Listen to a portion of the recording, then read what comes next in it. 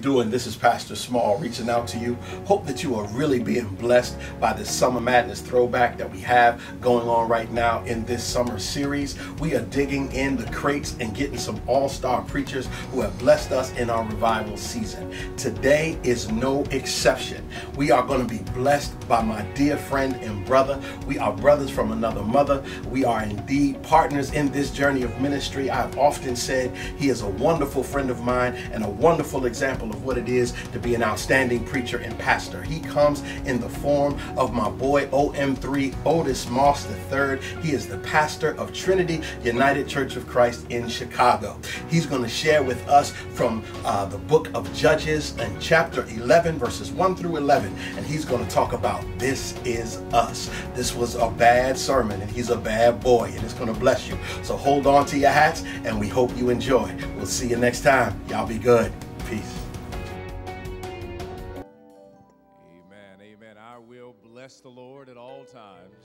God's praise shall continually be in my mouth. Oh, magnify the Lord with me. Let us exalt God's name together. Taste and see the goodness of the Lord, and let everything that hath breath praise the Lord. Let everything that hath breath, you missed your cue. Let everything that let everything that hath breath praise the Lord. If the Lord woke you up this morning, started you on your way, you have reason to give God praise. For the Lord is worthy to be praised. Praise God. I thank you, the Calvary family, for, for allowing a brother to be here during this summer madness, during this revival time. I'm deeply honored to have this time to be with you and to hang out with the tribal chieftain and the angel of this house, none other than Pastor Marcus Small. You all have an absolutely gifted man of God as your leader, a tremendous scholar, brother, part time comedian, and a tremendous preacher. And we praise God for you, Pastor Small. And we have been friends for quite some time, and it is always a delight uh, to be in his presence. Uh, I've said before that there are, there are good preachers, but not as many preachers who are good. And I'm so glad that uh, one recognizes that in Pastor Small, the one who is not only a good preacher, not only aesthetically and homiletically, uh, but also ethically and morally. And we just praise God for his deep commitment. And to Sister Small, we thank you as they labor together to the First Lady of this house. We praise God for you and the Small family. And it is wonderful to witness the two of you all labor and work together. Amen. Go ahead. You shout for your wife, man. Come on. There you go. There you go. And also to this to this amazing choir. You all have blessed us. They have blessed us. Where y'all disappeared? Where'd they go? Where'd they go? They, they, they left out. They, the choir left. And to the musicians. You know, I, you know, y'all have these great musicians. Y'all have Questlove on the drums. We appreciate uh, Stanley Clarke on the bass and Herbie Hancock and John Legend on the keys. We thank you, man. We appreciate you. You know, y'all got some wonderful folks, and it is just really a blessing to be here. I thought Marcus was my friend. I honestly did. Um, I thought he was. And then I saw the lineup of the people you have, and you stuck me in between. You know, when you have good meals, you have something in the beginning, um, you have something, you know, toward the end, uh, and then you have a water break. You have a water break. And uh, I appreciate you all allowing me to be here when you have these amazing preachers, people who I deeply, deeply respect and love to be able to hear. Uh, I grew up in Cleveland, as, as Pastor Small mentioned, and there were two courts near my house. Uh, there was one court uh, that was for the big boys, that you would hope that something happened to somebody and they would allow you to be elevated uh, to play on the big boys court. And there was the other one for everybody who was 12 and under. You had to play on that court. The only way you could get elevated to the big boys court is somebody got injured. And it's terrible to be praying for an injury so that you can play on the big boys court. So I have no idea who got injured, but I'm thankful to be on the big boys court tonight. And I just appreciate you all so very much And I bring you greetings from the Trinity United Church of Christ in Chicago, Illinois. And we just praise God for the ministry and the work that has been happening here uh, at this wonderful branch of Zion. Uh, and if we could at this moment, if we could join hands one to another, uh, recognizing there can be no preaching unless there is praying, for praying and preaching go hand in hand, and one cannot have one without the other. Uh, that if you could reach across and just hold on to the hand of someone you may know or you may not know, but I guarantee you are holding the hand of a child of God. Uh, so let us go to the Lord in prayer. Search me, O God, know my heart, try me and see if there is any destructive way in me. If you find, no, when you find something, I ask, O God, that you would cast it into the sea of forgetfulness as far as the east is from the west to never return again. Allow the hearts of thy people to be fertile, to receive what you have, O God, not what I have. I thank you for the privilege to stand behind this sacred desk. I recognize that I am not worthy to preach your word. And so I request that you would send the angel by the name of grace and the angel by the name of mercy to flank this pulpit. May grace and mercy stand in this space today, that the word may go forth and not return void. Uh, let the words of my mouth and the meditation of my heart be acceptable in thy sight. O Lord, you are my strength, and without a doubt, you are certainly my Redeemer. Holy Spirit, do thy will. Holy Spirit, do thy will. Holy Spirit, do thy will. And we offer this prayer in the mighty, magnificent, powerful, saving, healing, liberating name of Jesus, who is the Christ. And the people of God who love God may say, Amen. Amen. Amen. If you have your Bibles with you, I want to invite you uh, to turn with me uh, to the Old Testament book of Judges. Judges chapter 11. Judges chapter 11. If you are physically able, I'll just kindly ask that you would just stand that we might reverence the word uh, for a few moments together. Uh, if you do not have a Bible with you or your smartphone, uh, just go ahead and look on with your neighbor. If your neighbor is being stingy, say, The preacher said I can look. Judges chapter 11. Judges chapter 11. And it reads as follows uh, from the New International Version. It reads this way, beginning with verse 1 in Judges chapter 11. Jephthah, the Gileadite, was a mighty warrior. His father was Gilead, his mother was a prostitute. Gilead's wife also bore him sons. And when they were grown, they drove Jephthah away. You are not going to get any inheritance in our family, they said, because you are the son of another woman. So Jephthah fled from his brothers and settled in the land of Tob, where a gang of scoundrels, another translation, where a gang of guerrilla warriors, Another translation where a gang of thugs gathered around him and followed him.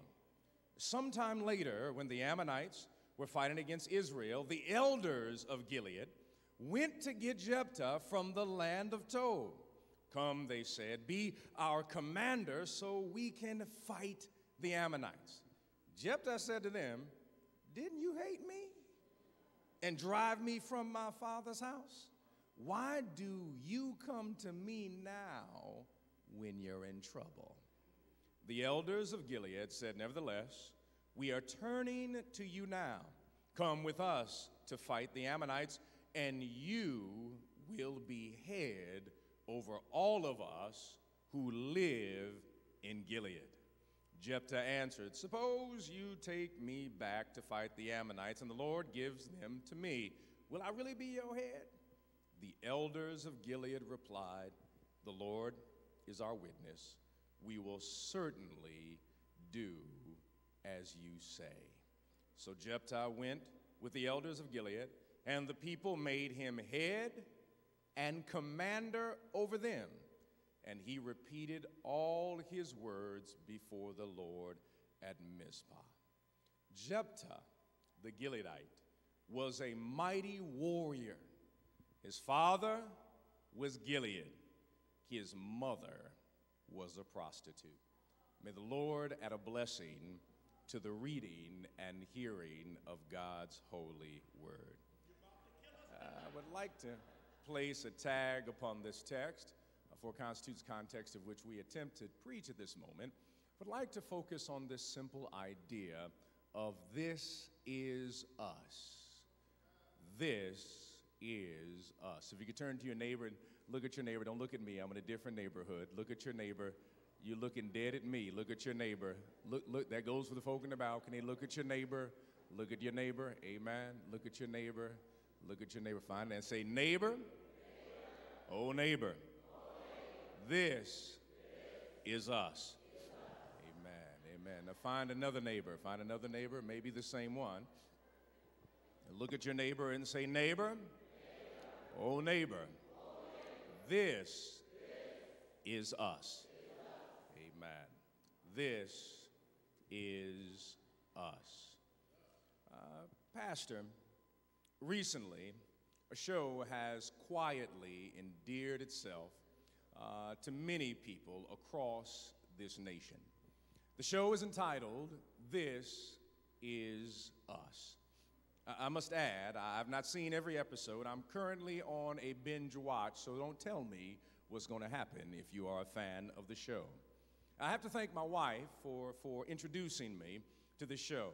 Because I could not understand, uh, Pastor Small, that, that every time that I would come home, I would see my wife on the couch with tears in her eyes, and I thought something was wrong, and I would say, What is the problem? And she would just say, This is us.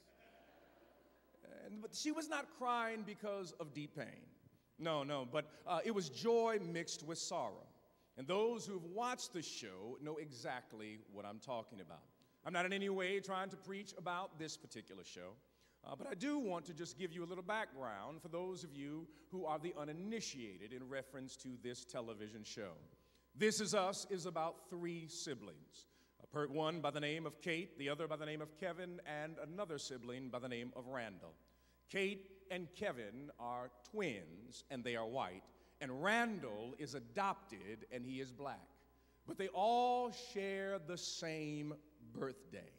It is Randall who is adopted. And the basis of the entire show is to demonstrate the beauty, pain, love, compassion, tragedy, and amazing grace all people experience who are trying to find their purpose in life. This is us. It shouts loudly that family can heal like nothing else, but also family can cut you so deep, unlike any other knife you've ever experienced that, that no one is a villain and no one is a hero. They are the protagonist and antagonist of their own story. This is us intentionally and unintentionally draws from the larger biblical and theological themes we wrestle with as human beings. Who are we? What is our call?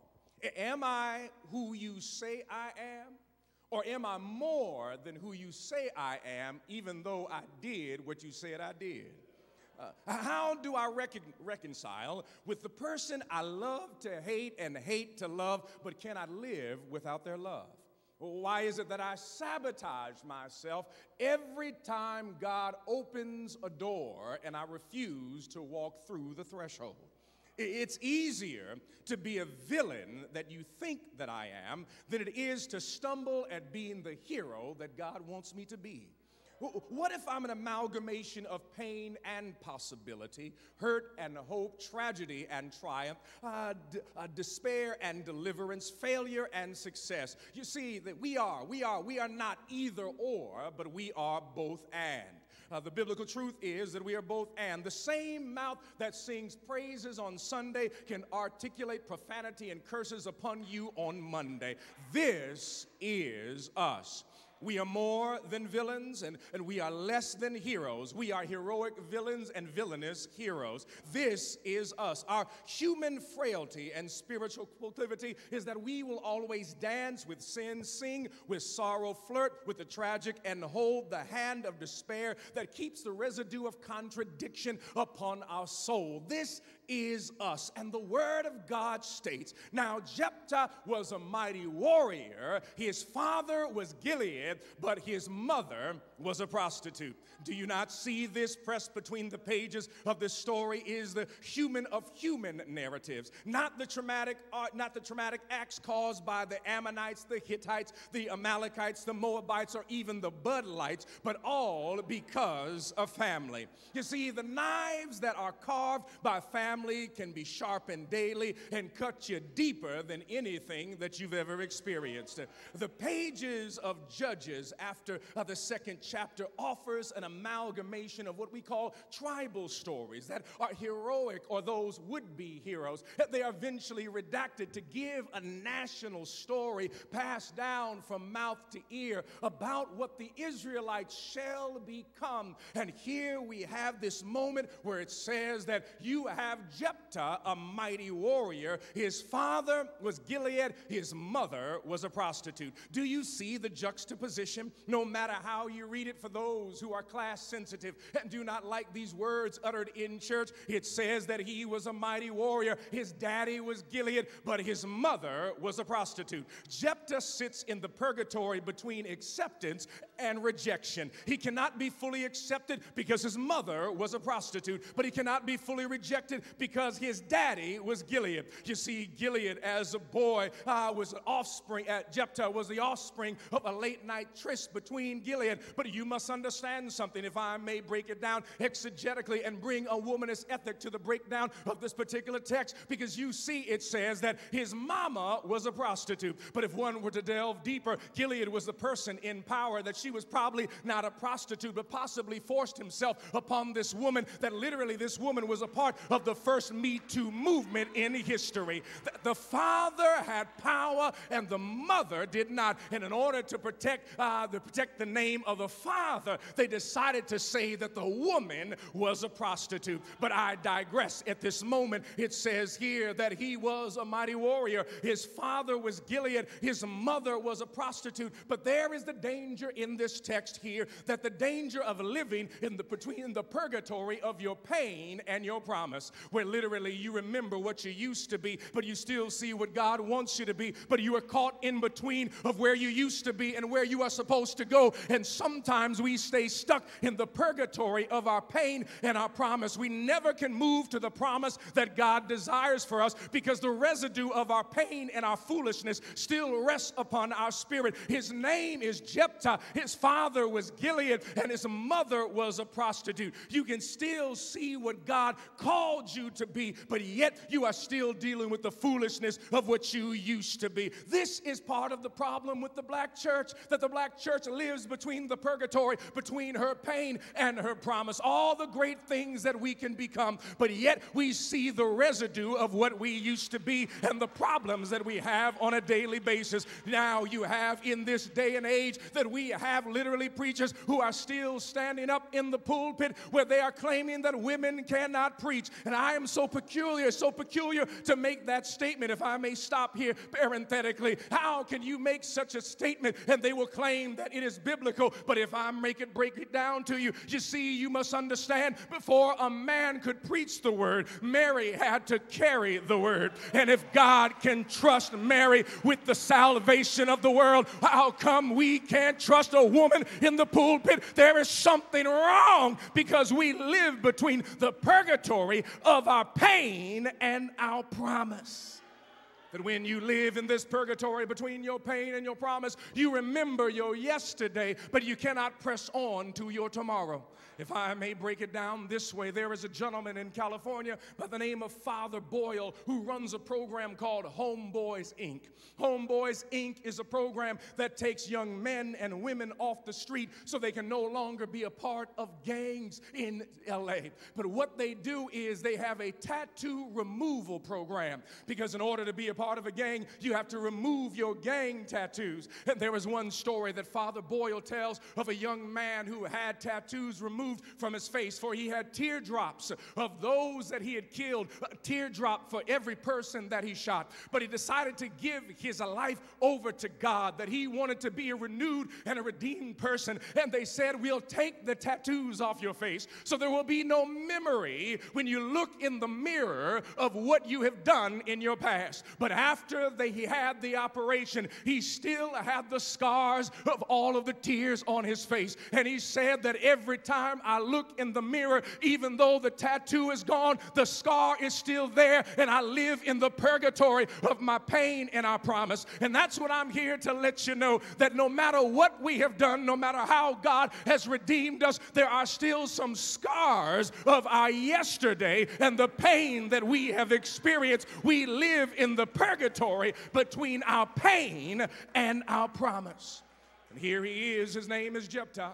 Jephthah lives between this purgatory, for his father is Gilead and his mother is a prostitute. But this is the danger in this because you will notice that he does not define himself this way. It is the writer who is saying, calling his mother a prostitute and writing this story. It is not Jephthah who is writing the story. And this is the danger of defining yourself by what other people define as your deficits. You cannot allow someone to define you. He says that he is the son of a prostitute. Here is the problem it is his own family that is trying to say to him that you are the son of a prostitute. This is the problem of the church. Uh, the church, in so many ways, has moved in this particular direction where we now are defining people by their deficits instead of their destiny. That we are looking at where they are wrong instead of looking how God can use you. We are always pointing out everybody's flaw and every problem instead of realizing that God can use anybody, anywhere, anytime. As a matter of fact, if you look over your life and look at your own resume, you do not have a perfect resume. But thanks be to God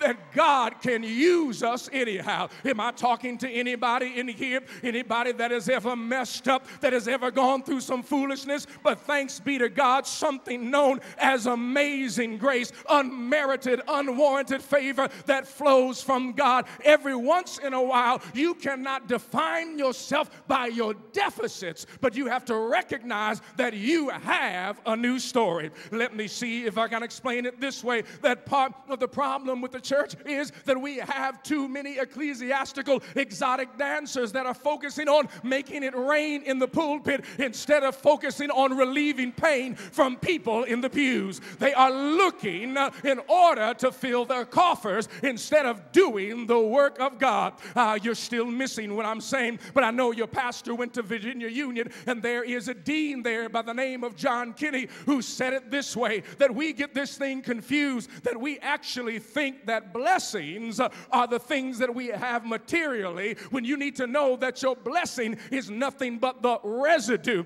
that your real blessing is a relationship with God. You're still missing what I'm trying to say to you. You see, you've got to understand that that is the residue. Whatever you have is not the real blessing because you can be rich and evil and you can be broke and blessed. You got to know that it is not what you have materially, it's your relationship with God. When my grandmother was living, she used to make something known as tea cakes. I used to love my grandmother's tea cakes. She would make these things. I know you've had tea cakes. I'm in Virginia, and my grandmother would make the tea cakes just for me, it was my blessing. And she would say to me, I'm making these for you. And after she would take uh, the batter and pour it into a pan, she would allow me to take one finger and she would allow me to lick the residue. But she would always say, Don't eat too much of the residue because your real blessing is in the oven. And I'm here to let you know don't you OD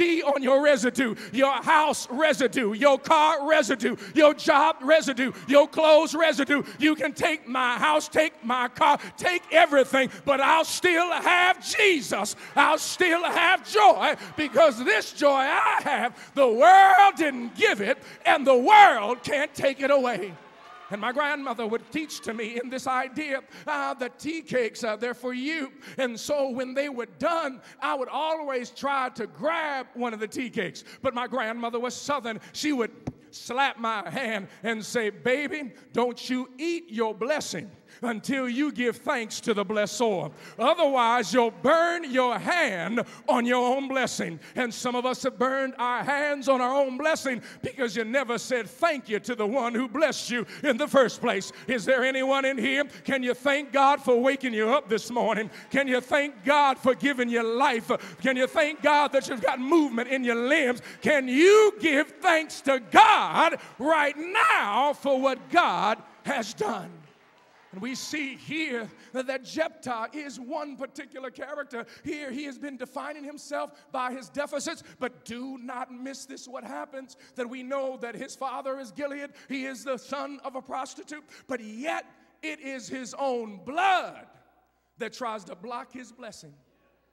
See the threat that is happening at this moment? It is his brothers who recognize when they are old that we are afraid that you will get some of the inheritance. But do not miss what is happening in the text that the brothers are really upset with the father, but they are taking out their issues and anger on the son. You completely missed it. They really have an issue that their father slept with somebody and was going to divide up the estate with somebody else. But since they could not step to daddy, they decide to step to the brother. It is known as displacement because what is happening is a form of fratricide that somebody who looks just like me, I decide that I'm going to attack them because I really can't get to the real power source. So I'll find somebody in close proximity to me who looks like me that I will injure in the process. And so the brothers at this moment attempt to push him out of the community. His own blood is attempting to push him out of his community and shame him into the fact of who his mother was. There is something so sinister about shame that shame keeps you from becoming the person that God wants you to become. That when you hide within that closet of shame, thinking that God does not want you and God does not need you, you will always find yourself on the fringes of what God is attempting to do in your life. He is on the fringes of this and therefore is pushed out. But here is the thing that must happen that you cannot define yourself by other people's deficits, allow people to push you out of your own particular destiny. But here is the thing that you've got to be delivered by daring to design your own story. Uh, don't miss the shout in this. It says that his father was Gilead, his mother was a prostitute. But the text says he was a mighty warrior. Uh, you missed it again. His father was Gilead. His mother was a prostitute, but he was a mighty warrior. That no matter what everybody said about him, he was able to rise above what other people said about him. And the record now is that he is a mighty warrior. You see, as a man thinketh, so is he. Here you have this gentleman who is willing to write the story. You can say whatever you want about me, but I know what I am inside. I know that I'm a mighty warrior. I know that God has done great things in me, and God shall do great things. I am a mighty warrior. He is defined by by a new name instead of Jephthah, the one who is the sun of a prostitute. You have to be willing to design your own story. And this is a message for every person of color who's been kissed by nature's son. We cannot allow other people to define who we are, to tell us what our story is, because they don't know us and nor do they have our best interest. There's somebody in Washington right now who knows nothing about us, who knows nothing about our history. Several months ago, this knucklehead was willing to say that people who came from Haiti and other places come from particular types of countries. I cannot even utilize the words that he used. But this person has an ahistorical understanding of history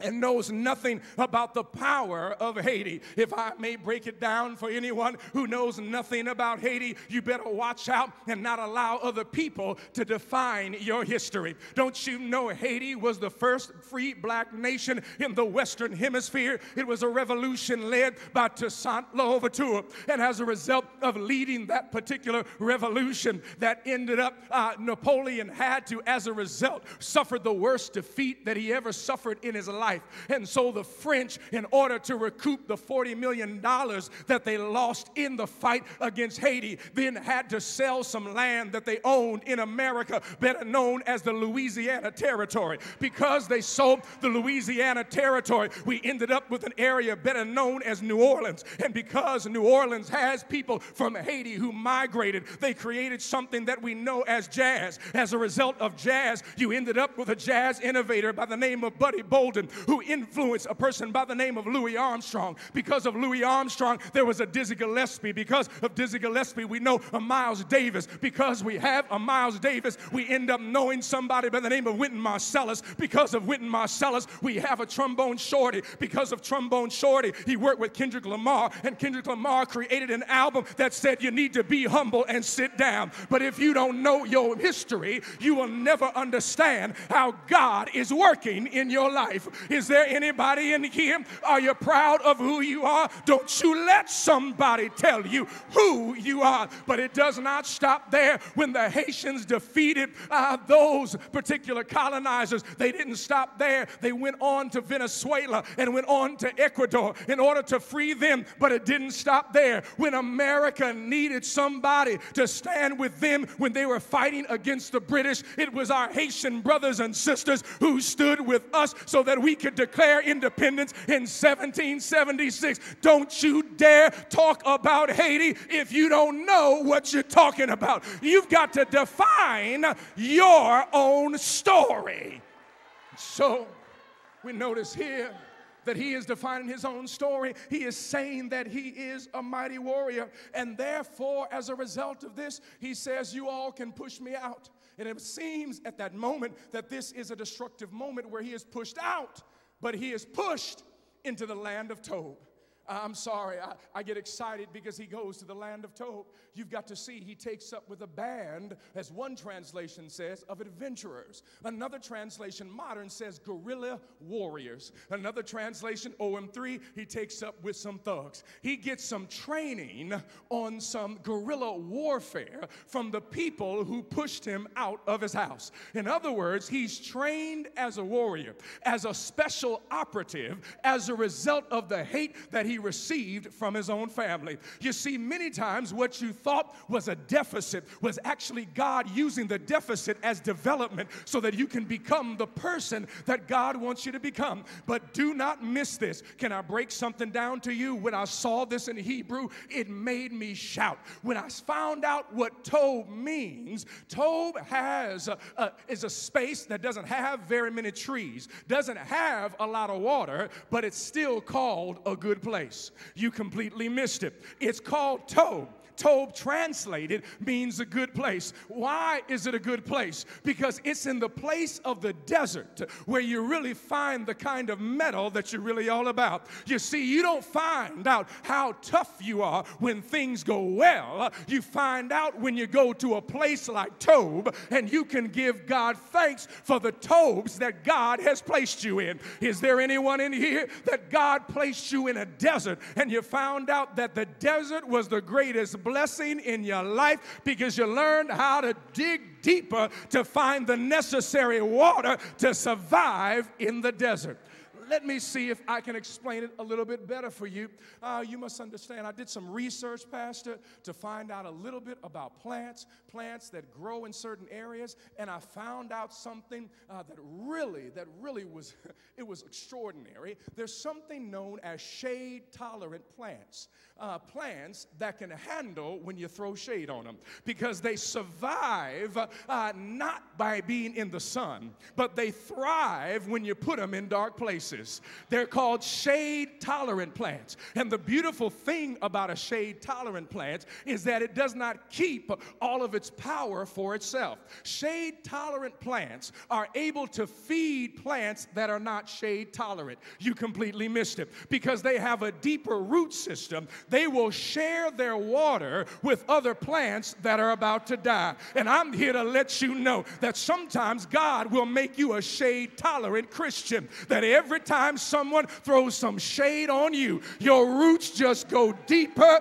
and all of a sudden you're feeding somebody else. Is there anyone in here? Has any time someone's tried to throw shade on you and you said, Throw all you want, baby? I'm shade tolerant. And so, shade tolerant plants function better in a desert. And here you have a Jephthah living in a desert. But this is, does not stop here. He's in the desert. He is by himself and he is working, hanging out with these thugs. I like this thing that he is hanging out and spending time with these thugs that are training him in order to be the mighty warrior that he will eventually be hanging out with thugs. And I began to think theologically that, that is what God loves. Uh, God can do so much with those who have a thuggish mentality. Uh, that God is always working with people we say that God cannot work with. Uh, let me break it down. As a matter of fact, God loves thugs. There's a thug by the name of Moses who had to kill somebody and go on the lam. But you see, when Jesus uh, comes into the world, Jesus says, I want a thug next to me wherever I go. Because you know a thug that God loves very much by the name of Peter. Because when someone tried to roll up on Jesus, he pulled out a knife and cut off somebody's ear. That sounds like a thug to me. But when Jesus died, he didn't hang between two sweet people, he hung between two thieves. In my book, that's a thug. He had a thug on the right and a thug on the left. One thug said, You need to save yourself. But another thug says, Remember remember me. And Jesus says, This day you will be with me in paradise. Oh, wait a minute, you still missed it. You see, Jesus says, You will be with me in paradise this day. He does not say, I need a letter from another church. We need to make sure you get the right hand of fellowship. Have you been baptized? Have you gone through new members training? He says, This day you will be with me, which raises a theological question for me because I'm not sure who's in heaven. I don't know if Abraham Abraham's in heaven. I don't know if Isaac's in heaven. I don't know if Joseph is in heaven. I don't know if Joshua is in heaven. I don't know if Matthew, Mark, Luke, and John are even in heaven. But I do know there's a thug in heaven, which means it must be a gangster's paradise. And I'm so glad that God loves thugs. Is there anybody in here? Aren't you glad that God loves you just the way you are? So we see here that he is hanging out with a band of adventurers, a band of thugs that he is hanging out with. But here is the thing all of a sudden, the people uh, who pushed him out are now the people calling him back. Uh, you missed the opportunity to shout right there. The people who pushed him out come to him and say, We need you to help us fight our enemies because you're the only one who's been trained because uh, you've been hanging out with this band of guerrilla warriors. And it is Jephthah said, Will I really be your commander? He said, They say, Yes, we will make you commander. Oh, you've got to see the beauty in this is that the same people that hated on him are now the same people that depend on him. The same people who pushed him out are the same people who are bringing him back in. And that's what I love about God. God will make your enemy your footstool, and God will put forth a table in the presence of your enemies. And now we see that Jephthah at this moment then becomes uh, becomes the one who is the leader in the land. He doesn't have the traditional pet pedigree, but he does uh, have the necessary training, and he shall be the leader. And that's what I love about our God that God will take people that you never expected in order to lead uh, the revolution for God's world. And that's what I love about Jephthah. I can imagine in my sanctified imagination that Jephthah said, Actually, I have to thank you for hating on me because if you never hated on me, I would never go to Tob. If I never went to Tob, I would never meet the guerrilla warriors. If I never met those warriors, I would never be second in command. And if I never became second in command, I would never become a judge in Israel. If I never became a judge in Israel, there would never be a Samson. If there never was a Samson, you wouldn't know anything about Samuel. If there was no Samuel, you wouldn't know anything about Saul. If there was no Saul, you wouldn't know anything about David. If there was no David, you wouldn't know anything about Solomon. If there was no Solomon, there would be no Isaiah. If there was no Isaiah, he would never say, For unto us a child is born. And that is a pre announcement about Jesus. If there was no pre announcement about Jesus, there'd be no Matthew, Mark, Luke, and John. If there was no Matthew, Mark, Luke, and John, you would never know Jesus was born in Bethlehem,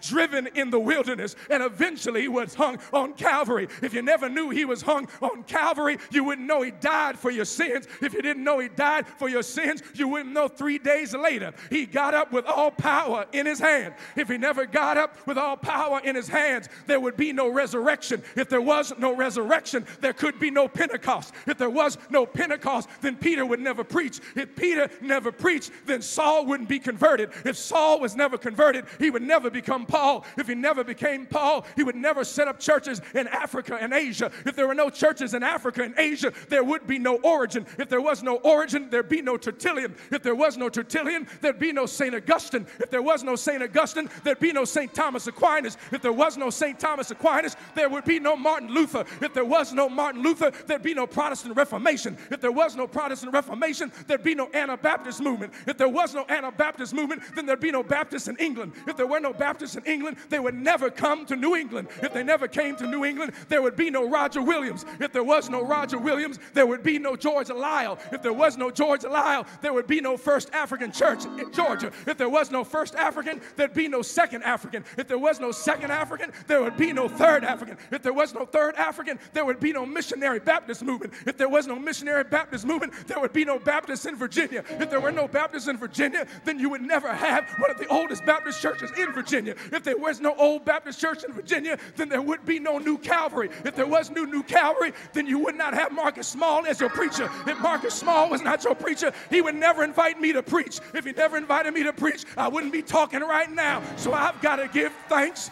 unto Jephthah for what Jephthah has done. I've got to give praise to what our God has done. I've got to get out of here. But sometimes you got to give thanks that God pushes you into territory. If I can give you this final thing, and I'm out of here, that every year in Chicago, I always speak at a Father's Day uh, program in the suburbs. This Father's Day program is at a small school. It is not a Father's Day like this Father's Day. It's for fathers who are mentors, fathers who are coaches, fathers who serve young people at an elementary school. When I started doing it 10 years ago, we only had 20 fathers. But I'm here to let you know today we got 400 fathers who show up at the church and show up at the school. But while I'm there, I always ask everybody, who was your mentor? How did you get where you are? And every person stands up and says, It was my daddy, or it was my uncle, it was a coach, it was my nephew, it was my uncle, it was somebody who was able to invest in me. But every year, there's somebody who says, I didn't have a father. My father was never in my life. And so I had to find somebody who would be a father in my life. But this year, somebody said something that blessed my soul in a way I've never been blessed. A young man said, I never had a father. I had a daddy, but I never had a father. And you see, since I knew I had my daddy's blood, I had to get a blood transfusion. I had to find a new father because you see, I've got my daddy's laugh, but now I've got a new father and I've got his love. I had my daddy's height, but now I've got my father's hope. I had my daddy's face, but now I've got my father's faith. I had my daddy's dimples, but I've got my father's deliverance. And so I want you to know, he said, You see, there's a difference between my daddy and my father, and that's my heavenly father. And he gave me strength to do what I am because I have my daddy's blood, but my father gave me new blood. What can wash away my sins? Nothing but the blood of Jesus. What can make me whole again? Nothing but the blood of Jesus. The blood that Jesus shed for me way back on Calvary. The blood that gives me strength from day to day. It will never, never lose its power. It reaches from the highest mountain, it flows to the lowest valley. The blood gives me strength from day to day. I've been blessed by the blood. I've got to get out of here, but I'm here to let you know when you commit to Jesus, you're in a new family. And when you're in a new family, you're protected by uh, those who are part of that new family. Well, I got to get out of here, but I got to tell you somebody who's a part of a new family. There was a royal wedding recently. Meghan Markle, a sister, got married to Prince Harry, and everybody was excited excited, but I tell you what I was excited about because ain't nobody seen a wedding like this in England ever. They had a black choir going left to right, they had some black cellists, and they had a brother preaching, and he was preaching up a storm. But what excited me so is that when I saw the face of Meghan's mama, she was smiling because you've got to know she was a single mother. Her husband walked out on her. Meghan's daddy walked out on her. But you know what? She's 37, and 37 years ago, while she had Meghan in her tummy, she was watching the royal wedding of Princess Diana. But little did she know the baby in her belly would be a part of the royal family. You never know what God's gonna do in your life. And now she's in the royal family. But there's something else that makes me shout that because she's in the royal family, there are always three people around her, three people that walk with her. One to stand and say, I'll take a bullet for you, another that says, I'll intervene for you, another that says that I will cover you because you're in the royal family. I've got three three people walking with you, you miss your shout. You're in the royal family. You've got three people walking with you God the Father, God the Son, God the Holy Ghost covering you every day, walking with you, blessing you and holding you. Good day. May the Lord bless you real good. But is there anybody in here? Aren't you glad? You're a part of the royal family. Aren't you glad you're a part of the royal family? Say yes.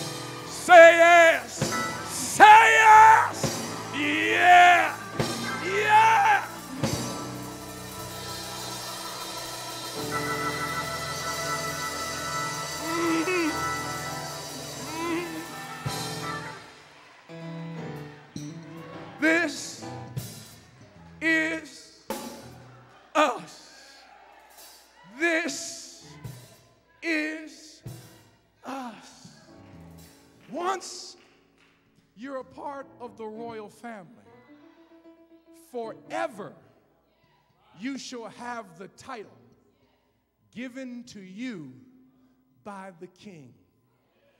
It is illegal for anybody in the royal family to have their title stripped.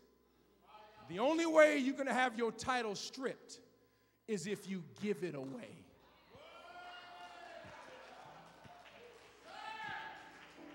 But for the rest of your life, for the rest of her life, Meghan Markle will be the Duchess.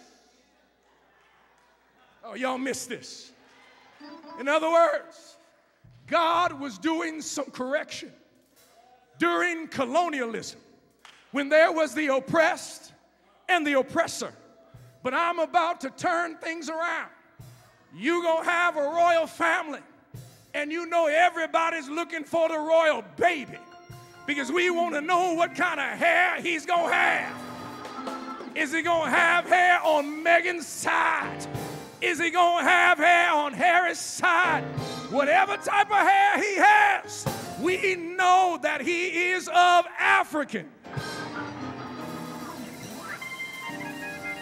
So when you go to Buckingham Palace, next time you go, do your bows and make sure you handle protocol, but throw your shoulders back and say, This is my palace too, because somebody from my lineage is now in the palace. A palace that has many rooms, a palace that can handle anything. That God will perform miracles in what everybody else thought was a deficit. Meghan Markle's father refused to come to the wedding. Meghan Markle's father, daddy, didn't think the mama and the daughter would amount to anything.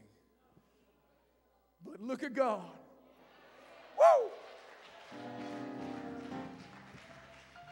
You left him, pushed mama into Tob, but she had to work harder to raise her child. And now, forevermore, the next time she comes to America, even Donald Trump has to go.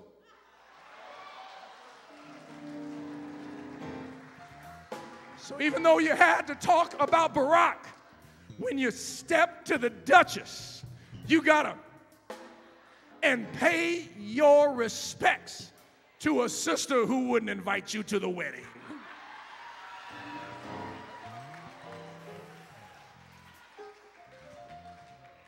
God is something else.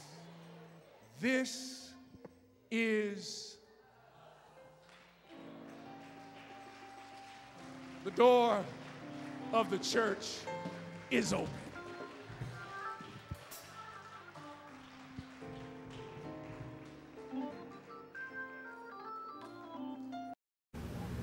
Hey, everybody, this is Pastor Small reaching out to you. Just want to thank you all for tuning in and watching in the month of August as we continue to bring you the Word of God through our preached moment. We want you to like and follow our Facebook page, New Calvary Norfolk VA. Make sure that you are signing on and liking and following us virtually. Can't wait to see you. Until next time, we'll take care. Be good. Peace.